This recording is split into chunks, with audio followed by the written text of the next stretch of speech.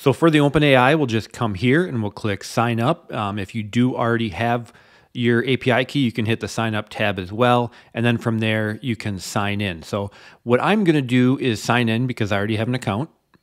If you don't have an account, you just simply create one on this page. So here I am inside the API platform. So if we come over to the side here, you will see API keys. You simply click on that and you can generate your API key to put into the software. Now, one big issue a lot of people have is their API won't work. And the reason that happens is because you haven't added a billing method. So the OpenAI API is a pay as you go. So you just pay for what you use. There's no like monthly fees like ChatGPT has.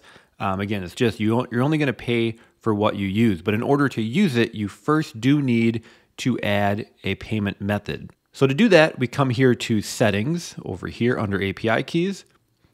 And then we're going to go to billing.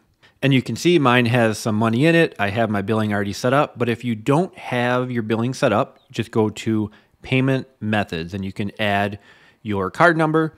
And again, it'll just bill you for what you use. Now, if you want to use ChatGPT 4 or above, you do need to go ahead and actually add a bit of a credit balance to it. Um, usually you'll get access once you're charged, but as you can see, if I go, for example, to my billing screen, um, in the last, gosh, we're almost to a year, and I've used a total of $5. So it's, it's very cost expensive, but the problem being is you're not going to get billed very often. So in order to use ChatGPT 4, you need to come back to the overview and add a credit balance. So I think you have to add um, either five or ten dollars. So you'll need to add five or ten dollars, and again, then anything you use will just get deducted from that, and there's a good chance it's going to last you a very long time. But for some reason, with ChatGPT 4, if you want to use that with the API, you need to go ahead and add a credit balance. You can add five, ten bucks, and then that will work.